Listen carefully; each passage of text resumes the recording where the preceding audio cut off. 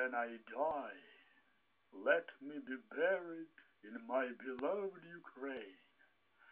My tomb upon a grave mount high amid the widespread plain, that the fields, the steppe unbounded, the Dnieper's plunging shore my eye could see, my ear could hear the mighty river roar.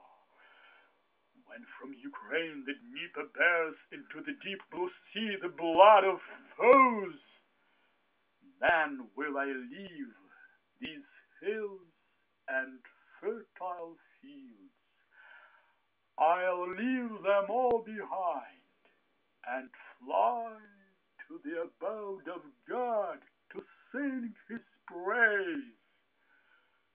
But till that day I nothing know of God. Oh, bury me, then rise you up and break your heavy chains and water with the tyrant's blood the freedom you have gained. And in the great new family, the family of the free, with softly spoken, word,